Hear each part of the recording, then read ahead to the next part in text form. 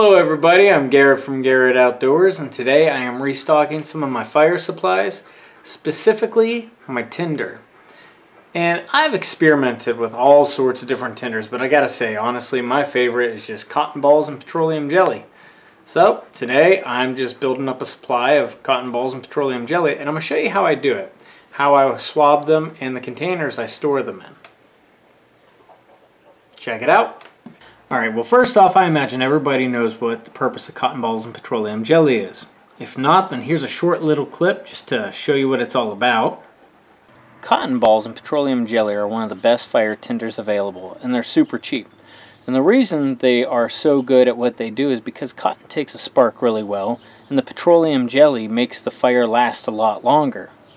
So, here we have one, a cotton ball, that has no petroleum jelly on it. It is just a cotton ball. And this one has petroleum jelly on it and worked in it. I will light this one first and then I'll light this one. And as you'll see, this one's going to burn longer than this one.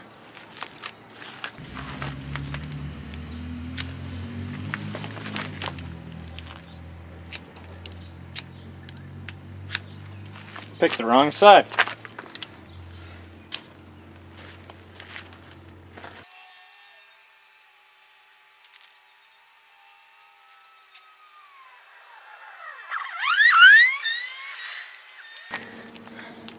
So as you can see, this one burned easily twice as long as this one. In fact, it took me a little bit of time to get this one lit because I had my hands over this fire. And then I actually relit this one from the fire on this one. And it's still going. So the petroleum jelly takes the cotton, which burns up real quick, and makes it into more of like a candle wick. And it just causes a nice, long, slow burn. And as you can see, it actually looks like it burns a little bit better as well. So cotton balls by themselves will work to get a fire started, but you'll have to use a bunch of them. Where on the other hand, if you put some petroleum jelly on it, one or two cotton balls will do the trick. Alright, now that we got that covered, let me show you what I do. First, I got me a big old container of Equate petroleum jelly, and this thing I've had for years. Then I take a big old bag of cotton balls, one of my favorite things about the, the cotton balls and petroleum jelly not only is the fact that it works phenomenal and not only uh, it's insanely cheap, but you can compact these cotton balls into a tiny, tiny little space. They take up next to no space.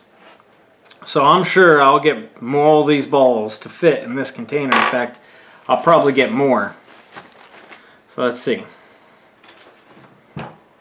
Take the cotton ball, and what I do is I just I kind of dig a little bit so I get a good slathered amount. Hopefully that shows up on camera pretty good. And I just take it and I put it petroleum side down into the container. And then I just repeat.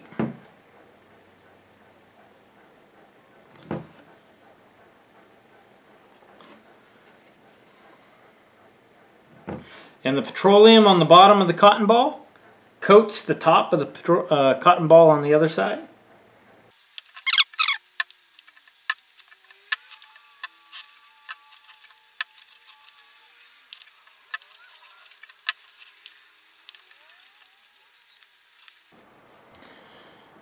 And that's ready to go. Toss that in your bag or your kit or your car or whatever and uh, you got a ton of cotton balls ready to go. Another cool part of doing this is I get a little bit of petroleum jelly on my hands. I don't mind that. The petroleum jelly helps protect the skin against getting too dried out. And in fact, a little container with petroleum jelly on these cotton balls like this not only is great for a fire tinder uh, kit, but it also has a lot of medical uses, you know, for protecting a wound, uh, or putting on dog's feet in snow, or protecting chapped lips, uh, or hitting uh, hard skin on your, your feet or anything like that, softening that up. Petroleum jelly has quite a number of uses. It's a very versatile prepper product. But I got two more containers to go. If you're wondering, I started putting them in these containers because I had a bunch of them. I used to be a real avid coin collector, and now I got a ton of these containers just lying about.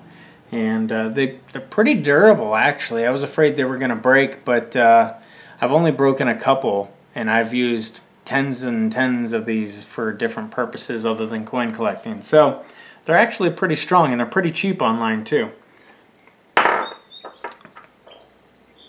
There's a bird singing to me. Anyways, I'm going to go ahead and get this wrapped up and uh, restock my supplies.